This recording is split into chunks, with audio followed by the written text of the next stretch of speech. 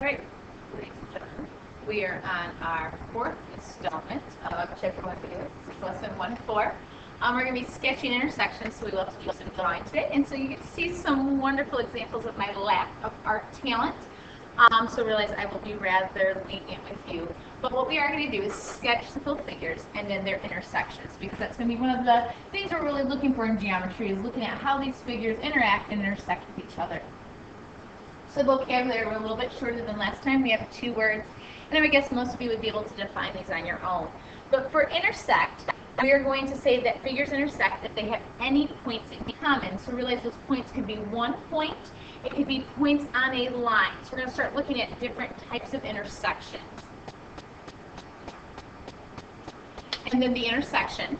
The intersection um, of two or more figures is the point of points that figures have in common. So we could be looking at one point or multiple points that they may have in common. So once again, we're taking a look at these postulates. There's nothing special about postulate three. If you Google that, you probably will not find this. But in our book, this is the third postulate they introduce you to. I remember postulates are just something that's accepted as true. So the intersection of two lines. If two lines intersect, then their intersection, if we look at the diagram, is going to be a point. Um, these two lines are just one-dimensional, and so we look at where they cross, they're only going to be able to make a point. And so symbolically, we'll say lines S and T, notice they're the lowercase letters, intersect at, and we're going to put capital P there for the point. So point P is where they're intersecting. Um, postulate four now, we're looking at the intersection of two planes. So if two planes are going to intersect, then their intersection is a, we need to think of this in terms of what we just had. We had a one-dimensional figure and we went down into that small, undefined um, intersection of a point. Our planes are two-dimensional, so their intersection is actually is going to have to go back. They're going to have to be something smaller than the two-dimensional figure. And so they intersect in that one-dimensional figure called a line. So if we take a look at what it is in uh, words or symbols, planes M and N, remember the planes are named in the corners with uppercase letters, intersect at line D lowercase d. There's no points on D, so I can't name it any other way than using the D. So, follow up. This is where we get to start drawing. I want to draw lines K and L that intersect at point Z. Intersect simply means that they're going to have to cross each other. So I'm going to draw a line K, and your line could go in any direction. Mine's going to go up and to the left. There's nothing special about that. The only thing I have to make sure is that when I go to draw a line L, that it intersects it somewhere on this line.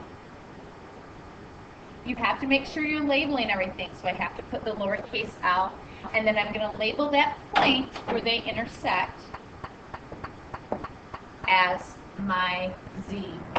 Now I need to draw lines M and N that do not intersect, and I'm going to guess the majority of you know that if two lines do not intersect, then they are parallel. So I'm going to, to the best of my ability, draw two lines, one named M and then one named N, that appear to be parallel. Now, because I'm not using any geometry tools to make sure of that, I'm just doing the best to eyeball that, but notice they're trying to run straight um, on my paper. They're not closing in towards each other. And once again, you're labeling them with M and N. All right, so let's take a look at what our example problems are going to look like. Um, we're using our diagram at the right. We've got three lines here. We've got AC, DF, and then we've got this line BE with those points. So we want to name the intersection of AC and BE. So once again, I'm going to highlight for you, we're talking about AC and BE. Where do those two lines intersect at? Well, if we look, the intersection's up here. They've labeled that with point B. So for A, AC and BE intersect at B. It is just a point, so there's just going to be the one letter. If we go back to our postulate, anytime we're looking at just lines, our answer is a single letter point.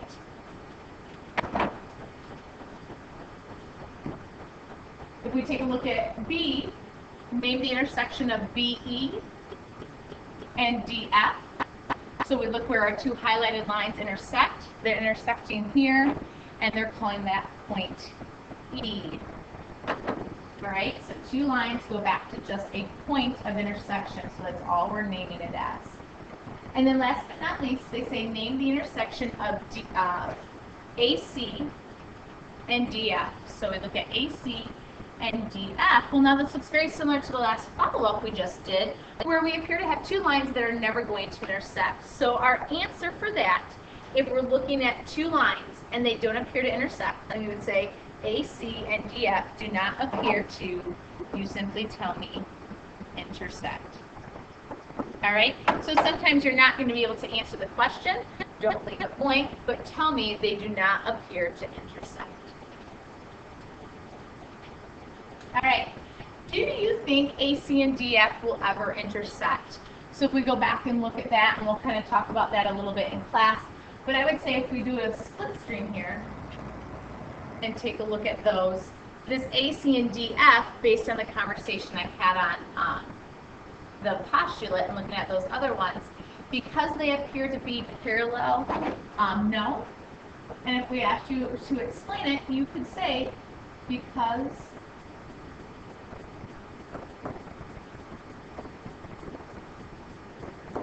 they look parallel. All right, so now they want us to take a look at the two figures on the right. So I'll go full screen so you can see them.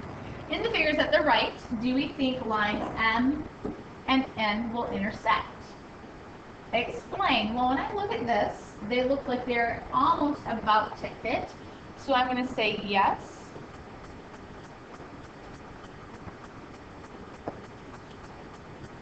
Because they will continue past the arrowhead.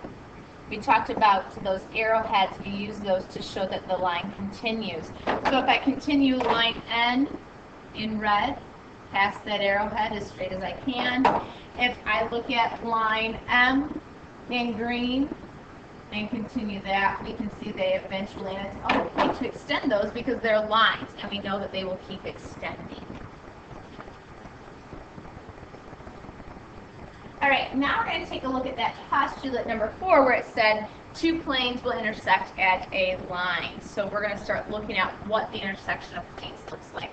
So we need to name the intersection of plane S and R. So S is this vertical plane that's shaded, and R is this horizontal plane that's um, higher up on the diagram. So once again, I'm using the letters in the corner. Um, where do they intersect? Because they're a two-dimensional figure, they're going to have a continuous um, intersection that keeps going across our paper. And so that's where we find this line K is their point of intersection. There's no point sign K that are named for us, we just use lowercase k. Um, name the intersection of R and T. So if we look at plane R, and plane T, other than the fact that my highlighter is a little thick, nothing that I drew in there intersected with each other. And so those planes are what we'd call parallel planes. They're kind of like the top and the bottom of a box. And the top and your bottom of the box never intersect each other. The sides intersect your box.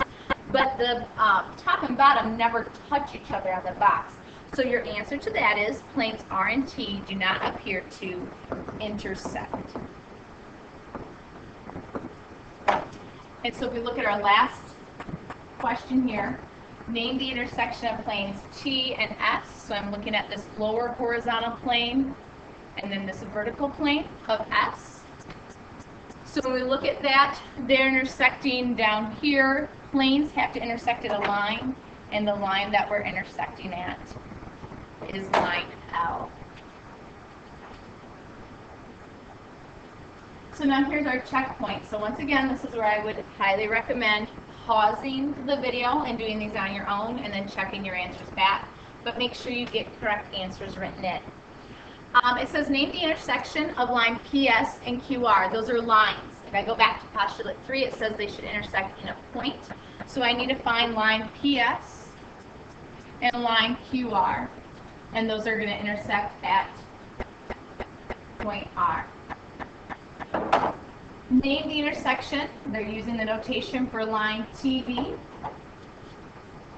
And then QU, so I'm going to go past that, this whole line here. They intersect at the point there. We need to be careful here. V is denoted by this point here.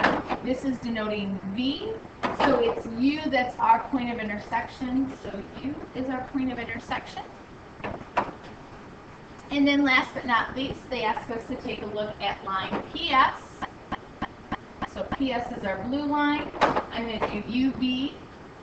So here's U and V. Remember that line keeps going in red. And our answer there, because they're not, they don't have a point in common, they don't intersect, as we would say, they do not intersect. So that's what it looks like when we're naming intersections. We're going to take a look at the planes. Remember, our planes intersect at a point, or I'm sorry, planes intersect at a line. So we're looking at the intersection of, of planes X and Y. So we're looking at this left-hand side, and that's this line right here. So line P, lowercase letters. Name the intersection of planes Y. So this is our horizontal. And then plane V, our vertical one. And we're looking over here on the right-hand side. It needs to be a line. So we use that lowercase q. And last but not least, I think you guys are starting to see a pattern here. We're going to be looking at two more planes. Plane Z and X. If they're both vertical, it's like the sides of the box. They do not intersect. So our answer, when they ask me to name the intersection, we say they do not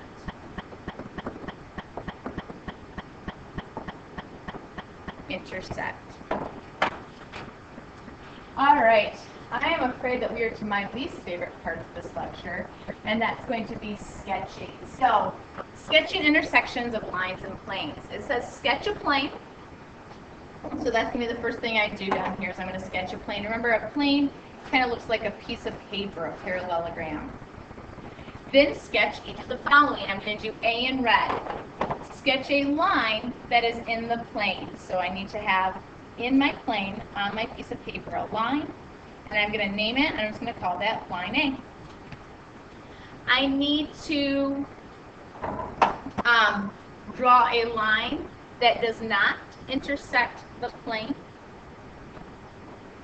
So I'm going to do that in B. So when I take a look at my line that does not intersect the plane, remember my plane is flat. It's like the bottom of a box. I'm going to draw a line up here and call that B, and that is up off the paper. And that's going to be one of the things that becomes difficult about our geometry, is we're trying to take um, something that is maybe a little three-dimensional and squash it down two-dimensional. But notice if I'm on the plane or in the plane, then I'm in the box. If I'm not intersecting the plane, then I'm going to be outside of that box. And then line, um, part C, a line that intersects a plane at just a point. If I'm just going to have a one point, that means I actually have to cut through the piece of paper. So I'm going to hit here, I'm going to hit put dashes here, and then I'm going to continue through. What these dashes mean right here is that I am actually under the plane.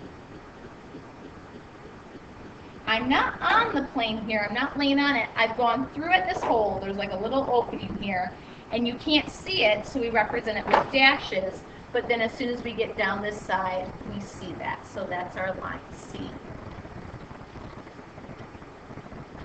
All right, we need to sketch two planes that intersect at um, in a line. So they're going to give you the steps for doing that. So that's what this red, black, and red. They alternate. So the solution to doing that, you need to draw one plane as if you're looking straight at it. So this is going to be the plane um, that, and we're looking right at this vertical plane, kind of right up here. Looking at me. Um, I'm going to label this plane A just so we have a name here. And I did that in red. I now need to draw a second plane that is horizontal. So I'm going to have this horizontal and it's kind of coming out at me like this. Now, I'm going to continue this back.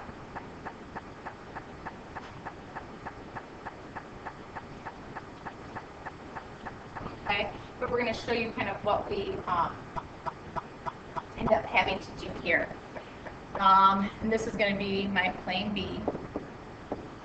And then we need to draw the line of intersection. So the line of intersection is going across here. Here's my line of intersection. I'll call that line um, C because that's my third step. But then we need to use dashed lines to show where the one plane is hidden. It's going to be our second plane, and it's hidden back here. We have these little dashes, and I'm going to kind of erase all of it. And we have these dashes here because our plane is not showing behind here. It's behind that A. And so that gives you a rough sketch of what it's going to look like. And we're going to do an activity um, before you guys start the homework that will help you visualize a little bit more of what these planes look like. All right, try to sketch two planes that intersect in exactly one point. Why is this impossible? Well, I kind of give you a little heads up here. It's impossible. You can try if you want, ladies and gentlemen. If you want to show me something in class tomorrow where you think you've done it, I will take time to look at it. But I'm going to tell you, they're right. It's impossible. And the reason it's impossible is this. If it's exactly one point, we know from postulate 4 planes intersect at one line. There's no way to get that any smaller. Um, if you think of trying to cram two pieces to, of paper together without rolling them up into a ball, they would have to cut through each other um, and make a whole line, not just a little point.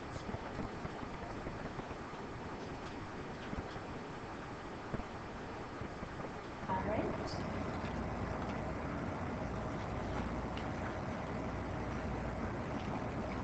All right, ladies and gentlemen, I'm sorry for the difficulty. I didn't have everything in my slideshow there.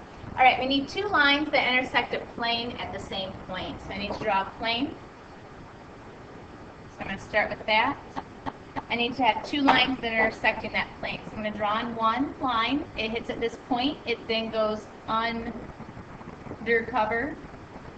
This is its point of intersection. So if I'm going to have a second line that intersects that plane, I need to come and hit this same point. And once again, it's going to be dashed because it's going underneath. You start to see it, and then there's my two lines. Um, two planes intersect in a line. Um, once again, guys, we have the directions for that. Draw a vertical one. Draw a horizontal one. Draw past it, come back. And then remember this part here needs to be dashed. So the part that's inside the blue on the back end um, is where we draw that dash in. We need to draw in our intersecting line. So this is my line where they intersect.